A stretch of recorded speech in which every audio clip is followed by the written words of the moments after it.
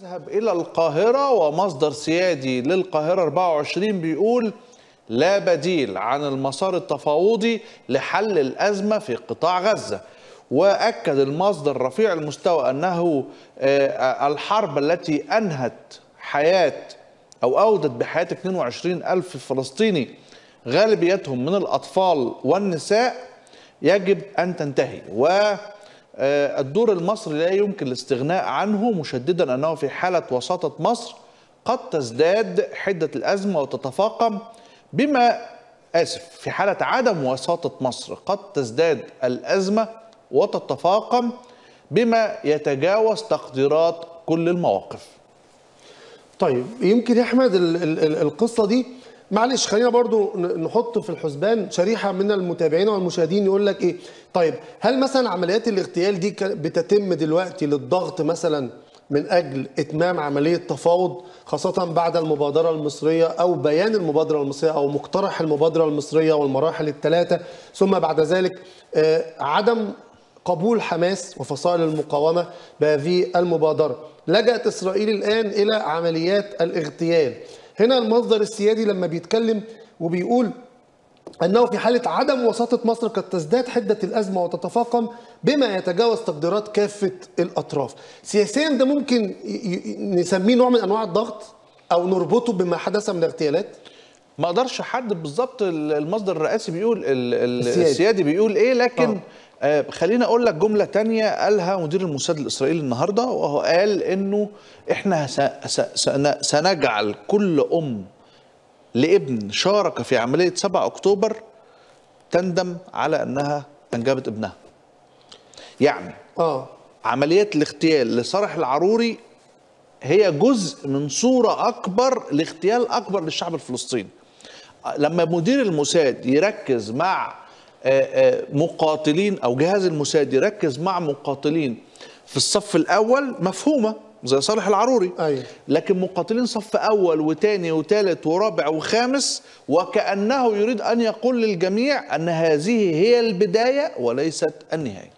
طيب خلينا نحط كل هذه التصريحات جنب بعضها ونشوف ارتباط كل هذه الأمور ببعض. هل هذه الأمور مرتبطة بالفعل أم أنه آه، تحليل فقط والواقع مختلف تماما لا نعلمه ولكن في الأخير علينا أن نقع أن نضع كل الحقائق على الطاولة ثم نقوم بربط هذه الأمور للوصول إلى حقيقة. بالتأكيد هي موجودة هذه الحقيقة إن غابت في هذه الأوقات ولكنها ستكون واضحة وجلية في قادم الأوقات. بالنسبة للأمهات الفلسطينيات هم يعتبرون أن أبناءهم دفاعا عن الأرض. كل أرواح الفلسطينيين بنات ولاد شباب رجال نساء شيوخ أعضاء في فصائل المقاومة. كل الشعب الفلسطيني يقاوم وطبعا لن يرهبوا تصريح مثل هذا ولن يردعوا تصريح مثل هذا بل بالعكس هذه التصريحات تجعل الشعب الفلسطيني أكثر إيجابية وأكثر عطاء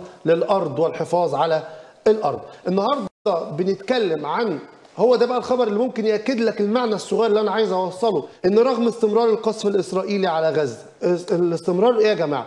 ده أنت بتتكلم بحرا بيقصفوا جوا بيقصفوا برا بيقصفوا شغالين بحر وبر وجو.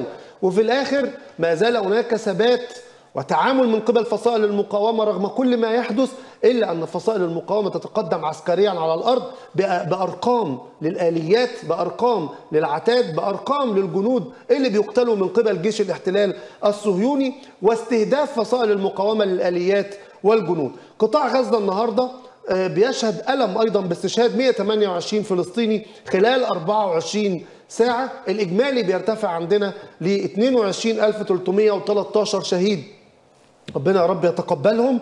آه، استشهاد 100 ده اللي اعلنته وزارة الصحة النهارده في فلسطين إن في خلال ال 24 ساعة بس اللي فاتوا بيرتفع إجمالي آه، ضحايا القصف الإسرائيلي على القطاع إلى 22313 وده يا جماعة إجمالي منذ انطلاق عملية طوفان الأقصى في السابع من أكتوبر. الاحتلال الإسرائيلي ارتكب ما يقرب من 10 مجازر ضد العائلات في غزة ده خلال 24 ساعة. لحد يقول لك 10 مجازر من طوفان الأقصى؟ لا ده خلال 24 بس ساعة 10 مجازر راح ضحيتها 128 شهيد وأصيب 261 خلال 24 ساعة الماضية. حصيلة العدوان. أكدت وزارة الصحة التابعة لحركة حماس أن هذه الأرقام صحيحة الرقم اللي قلته لحضراتكم اللي هو 22313 وهناك أيضا 57000 296 إصابة. دي الحصيلة منذ انطلاق طوفان الأقصى حتى هذه الأوقات. نسأل الله عز وجل الشفاء للجرحى والمصابين وأن يتقبل الشهداء. طبعا آه، يعني هذه الأخبار والتفاصيل يجب ألا ننسى فيها أن إسرائيل قامت اليوم بقصف مقر الهلال الأحمر الفلسطيني في غزة. قامت بقصف مقر المؤسسة التي تعمل على مساعدة الضحايا والمصابين والشهداء وإجلاء الشهداء ومحاولات الإغاثة. المؤسسة الرئيسية تم قصف مقرها اليوم في آه، آه، يعني مشهد يؤكد أن هذا الاحتلال الإسرائيلي لا يعرف لا قانون دولي ولا قانون خاص ولا آه، اتفاقيات جنيف الأربعة ولا له علاقة بالموضوع. هذا الاحتلال أكد رئيس أركانه اليوم جالنت قال أنه آسف وزير آه، الدفاع الإسرائيلي أن العمليات ليست هناك أي نية لوقف العمليات في غزة وقال أن الاعتقاد بأن إسرائيل في طريقها لوقف القتال غير صحيح. كما قال إذا لم نحقق انتصارا في حرب غزة لن نتمكن من العيش في الشرق الأوسط. وأنا أحمد الله أتوهم نفسي فلسطينيا الآن وأقول لوزير الحرب آه، إن شاء الله لن تحقق انتصارا في حرب غزة ولن تتمكن لا أنت ولا جنودك من العيش في آه، الشرق الأوسط أو تحديدا تطأ هذه الأرض المباركة اللي بيدافع عنها رجال وشباب ونساء وشيوخ وعلى فكرة هم بيقدموا ومش عايزين حاجة غير اللي هم شايفينه. هو هدفهم يا جماعة هدف الفلسطينيين إيه؟ عشان ترتاح. لما جه نتنياهو يضحك على الإسرائيليين عشان يخوض هذه الحرب عشان يهرب من المحاكمة ويأجل المحاكمة أيام شهور.